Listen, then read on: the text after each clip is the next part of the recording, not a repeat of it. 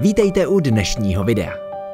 Obrovské skládky plné nebezpečných materiálů můžeme vidět v mnoha zemích světa, zejména v těch chudých a rozvojových. A to i přesto, že velkou část tohoto odpadu již dokážeme recyklovat. Pojďme se v dnešním videu podívat například na obří skládku použitých pneumatik, oblečení nebo vysloužilých lodí. Tak se pohodlně usaďte a začínáme.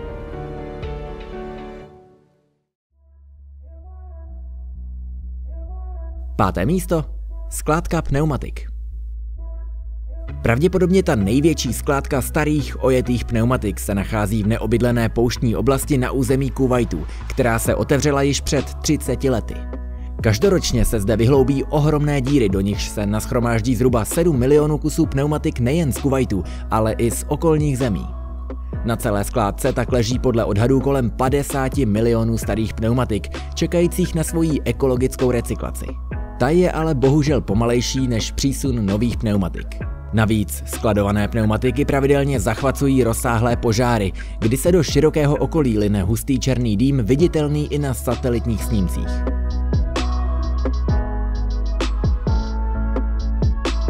Čtvrté místo. Použitá elektronika. V současné době je právě elektroodpad jedním z nejrychleji rostoucích druhů odpadu a já i vy k tomu poměrně slušně přispíváme. Tím, že si lidé každý rok kupují nové telefony a další spotřební elektroniku, kdy staré elektrospotřebiče prostě vyhodí, vzniká na světě až 50 milionů tun elektroodpadu, který lze jen z části recyklovat. Zbytek je pak potřeba někde uložit a poté zlikvidovat. Jednu z největších skládek elektroodpadu na světě najdeme v africkém státě Ghana, kde pracuje na 10 tisíc dělníků, kteří odpad třídí a snaží se z něj pomocí kyselin, chemikálí a ohně získávat vzácné prvky. Tento proces ovšem není příliš ekologický a navíc nepříznivě ovlivňuje zdraví místních obyvatel a pracovníků. Třetí místo. Plastová džungle. Plastový odpad je něco, co také velmi rezonuje moderní společností a téměř žádná jiná země ho neskladuje a nerecykluje v takové množství jako Malajzie.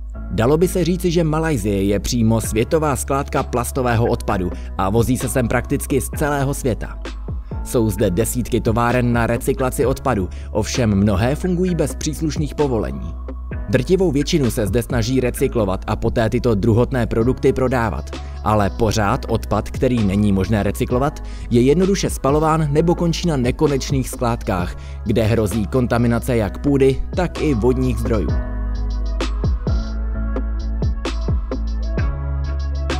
Druhé místo. Hřbitov lodí. Poté, co je loď vyřazena z provozu nebo se již dále nepoužívá, je většinou zaslána do speciálních loděnic, kde ji demontují a rozřežou na kusy. Lodě jsou zde rozebírány do posledního možného detailu. Uchovávají se motory, elektronické součásti a zejména železo a kov, který je dále prodáván a recyklován. Jedním takovým hřbitovem pro nepoužívané lodě je Alang Shipyard v Gujaratu v Indii, kam ročně připlouvá 400 až 500 lodí určených k demontáži. Celé pobřeží tak zaplňují různě veliké lodě v různých fázích demontáže a kromě vln se zde permanentně ozývá zvuk kovového bouchání, řezání a lámání. Bohužel součástí vraků lodí je mnohdy i nafta a další toxický odpad, který ničí veškerý mořský život v blízkosti loděnice.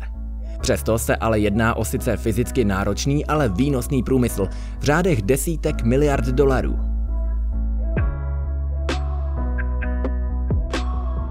První místo Oblečení v poušti. Poslední položkou na dnešním seznamu je unikátní skládka oblečení v poušti Atacama v Chile. Nachází se v blízkosti čilského přístavního města Ike Ike a je to svým způsobem konečná slepá ulička oděvního průmyslu. Ročně místní skládka přijme asi 60 tisíc tun nechtěného oblečení, přičemž největším dovozcem použitého oblečení je právě Chile. Asi 40% tohoto použitého oblečení se znovu prodá v chudých zemích Latinské Ameriky, ale oblečení, které nenajde svého kupce, zůstává nadále v poušti. Tisíce kalhot, triček a svetrů se tak hromadí a narušují ráz kopcovité krajiny. I když se pomalu objevují firmy recyklující část textilního odpadu, stále je to v porovnání s rozměry skládky minimální zásah a oblečení v poušti tak nadále leží. Děkuji, že jste vydrželi až do konce. Pokud se vám dnešní video líbilo, rozhodně nezapomeňte dát like nebo odběr, aby vám už nic neuniklo. Já se s vámi pro dnešek loučím a vidíme se zase brzy u dalšího videa.